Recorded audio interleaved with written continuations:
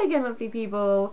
This week I want to talk about a book that I read recently that I really enjoyed, and that book is The Improbability of Love by Hannah Rothschild.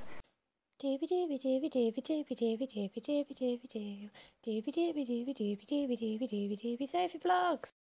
I first heard about this book by watching Jen Campbell's channel, and she does the best book recommendations, so anything that she says is good I tend to like make a mental note of, and if I, if I spot it, I'm like, oh yes, you. The book tells the story of Annie McDee, who, um, whilst in like a junk shop one day, spots this painting, quite likes it, so picks it up. Um, and then it sort of unfurls from there as you discover the backstory of the painting and all of these different people whose lives it has touched. I don't know whether to say that there's a mystery element to this would be accurate enough, but there's certainly secrets which become uncovered throughout the story as you learn more about the painting.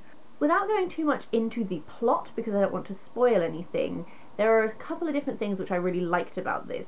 One of them is the book has multiple different like points of view going throughout it, so you return a lot to Annie, but as she sort of um, becomes more embroiled in like the art world, you get points of views of other characters that are related to this. So there's sort of a, a, a weaving of a number of different plot lines throughout, which was really enjoyable but also led to the bit which is the reason why I wanted to read this in the first place, is you get chapters from the point of view of the painting, which is such a simple idea, but works so well, because immediately you know from the outset of this book that this painting is a genuine article, is worth a lot of money, does have this interesting history, so it means the whole time that Annie is you know, sort of in a way stumbling her way into discovering the history of the painting, like you kind of already know it, and there's this like impatience from the painting, or or not not like necessarily impatience, but a a wish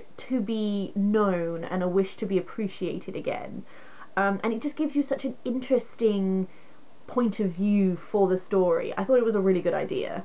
As Annie is sort of going down this journey of learning more about this painting, you get a lot of focus on sort of like the art world and how the art world works, which I really liked.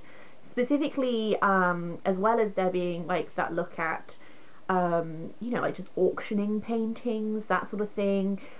I really enjoyed the focus on how you go about authenticating a painting. Like, um, you know, how do you determine an original from a copy? How do you, if you don't know who the artist is, analyze what's in front of you, both from like a, a visual narrative way, so like what themes or motifs are in this which you can use to date it, and just also from like a scientific way, like the paints used, the materials used, what can they tell you about the painting?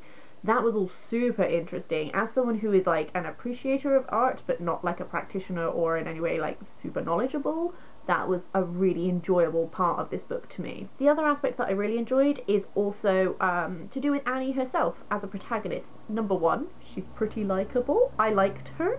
She was nice. Um, but also she's a chef, so she's not in the art world. She's sort of discovering it, which is a good way for like you to discover it. But she does enjoy art and have like a sort of appreciation for it. As her job develops, she's in the position where she has to put on some banquets for some terribly rich people um, who are in the art world. So she and so they are usually banquets that are relating to trying to sell a particular painting or something. So what Annie does is she crafts these banquets around that painting, from the decor being topical to like the foods she is cooking, she researches what are foods of that time, what would be served in a banquet of that time. So as a result, you get these wonderful descriptions of these banquets she's putting on that just, they just spark off your imagination. They're so delightful. Um, so I really love that part of it. I realise I've talked about like just a couple of things that I liked. Plot-wise is also good. I enjoyed the plot. I enjoyed like interactions between characters.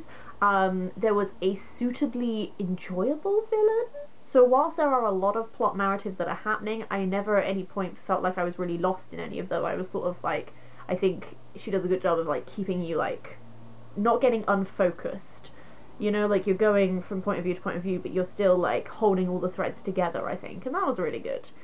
So, that's pretty much all I wanted to say, really. Just wanted to have an enthusiastic ramble. Um, if you are in any way interested in art, art history, food, or sort of novels about secrets, maybe you'll like it. Have a read. Let me know what you think. I'd love to hear it. Other than that, I hope you're having a lovely day, and I will see you next week.